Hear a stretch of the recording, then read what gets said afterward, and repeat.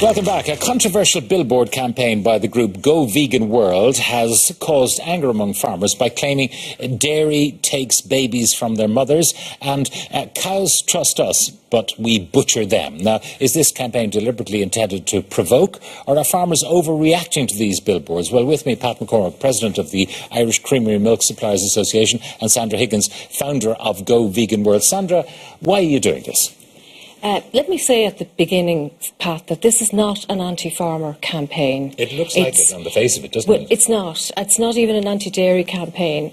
It's an informative campaign that educates the public about facts that they mightn't be aware of. And the reaction we've got to the, to the campaign shows that we were right in our estimation. That it tells them facts about standard legal practice, the standard legal things that we do to other animals in order to put them on our plates or on our backs or in laboratories or in circuses or zoos. And Do you believe that animals have equal rights to humans?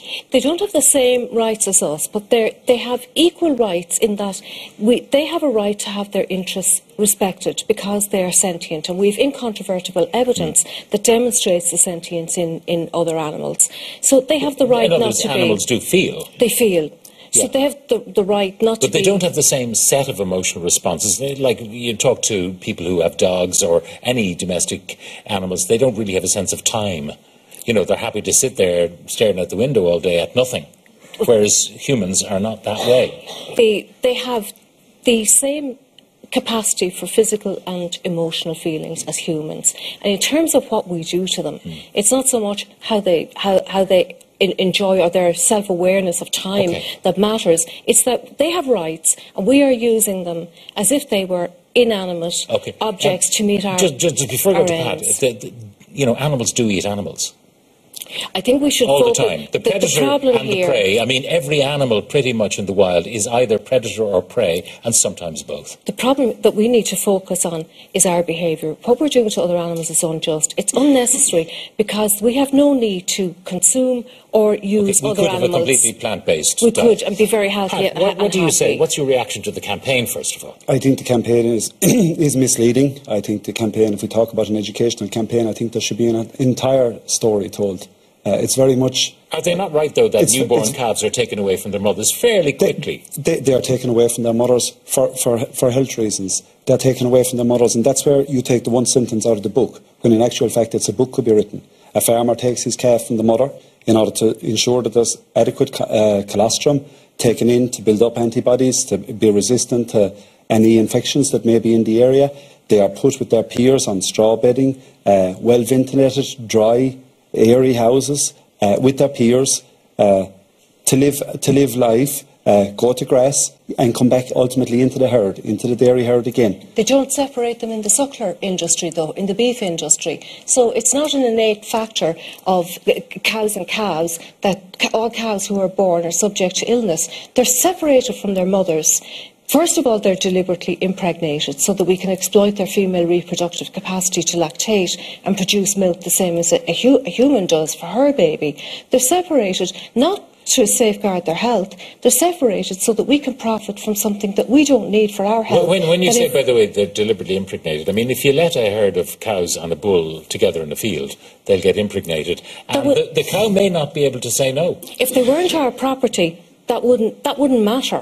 We deliberately impregnate them so that they they lactate when they've given birth, just like human And, women. and we, we do impre- uh, uh, AI cows, yes, and there's serious consideration given to the type of bull that's used on the particular cow to minimise any difficulties in calvings. But Pat, go back once, to my Once, no, no, no, no. You're- you're saying that they're Sorry, no, I didn't. I didn't interrupt you. To be fair, Sandra, I and that's why. view- Yeah, that's why. Now, in fairness, Pat, I need the opportunity to give this what is required. Two sides to a story, right? When the cow is separated from the calf, it is necessary for a dairy cow to be separated because, other than that, their udder will fall into mishealth. But why would they? Would you impregnate them if they're if they're so at risk that their that their babies are going to be ill? Why would they have babies in the first place, Pat? Why would you The, impregnate the, them? the reality of it is, we must remember where the human population has evolved from and how it has evolved. It has evolved over a period of time uh, on the back of, of the consumption of dairy produce. Right? No, no, it We've hasn't seen- evolved on the back well, of dairy the, the reality of it is produce. the diet, the diet of the human po- population has been over the last number of decades and indeed over the last number of, of I generations I mean, has in, been in a, fairness, a, I just, reliant on a dairy I just product. want to say this. Just, I mean, we have been, been eating cheese as humankind for a long time. But we have we've been doing milk, a we have lot of things for a long time. That doesn't justify what we do now. Dairy is not essential, an essential part of our evolution. For a long time, we didn't g- use other animals as foods. It has nothing to do with our evolution. That's not a justification for commodifying Okay. and hurting them. And there are a lot of other intersectional points that viewers need to be aware of. The, the, the damage that animal agriculture contributes to the environment, the, the fact that uh, consuming animal products is detrimental for human health. If people are not even interested in animal rights, then there are many human rights issues that they need Pat, to be aware of. To be fair, Pat, we've given decades reading that butter was bad for us, and that is a, a dairy product. Over the last number of years, we've read and research has shown that butter is a very, very valuable part of one's diet. Research shows that animal we saw products butter, are not we saw for butter human reach health. record peak prices during 2017. Okay, uh, prices Zo- that we Zoe, thought were as it unattainable. happens, uh, Zoe Kavanagh is the chief executive of the National Dairy Council. Zoe, uh, this business, we actually don't need dairy in our diet, and it's not good for us.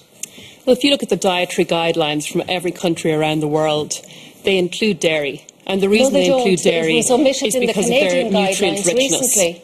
And one of the things that we're very fortunate to have here in Ireland is a grass-based system where our animals are grazing outdoors 300 days of the year, providing us with a nutrient-rich portfolio of milk, yogurt and cheese.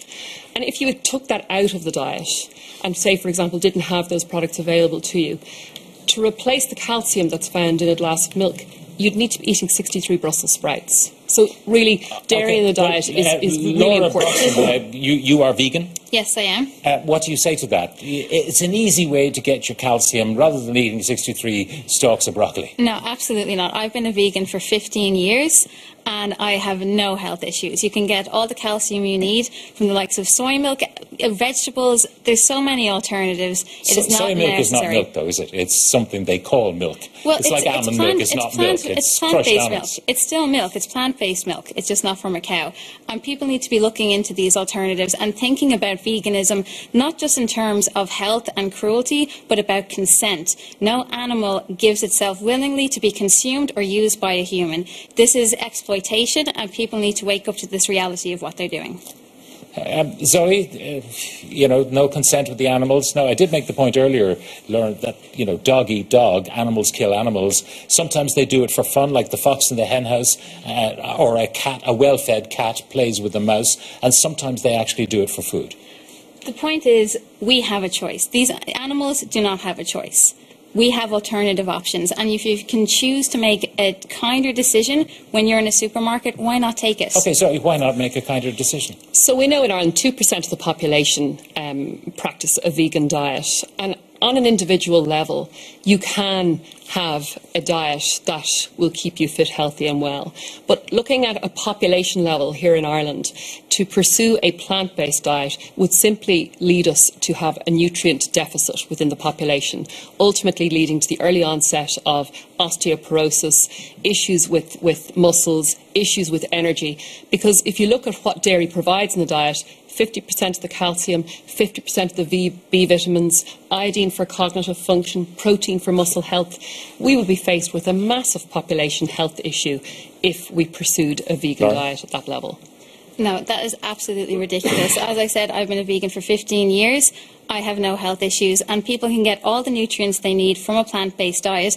And if they want help, they can contact Sandra at Go Vegan World. She sends out uh, vegan information packs. So many animal rights groups do. We can show you how to do it right, give you the nutrition charts, the recipes, but think about the ethics. That's what we want to make a point here with this. Think about what's right, what's morally right, and what we're doing to these animals. They do not have a choice, but we have the choice to be kind, and everyone who has this choice right. should make that decision. Okay, we will have to leave it there. It's a very interesting uh, topic, and I know we will come back to it.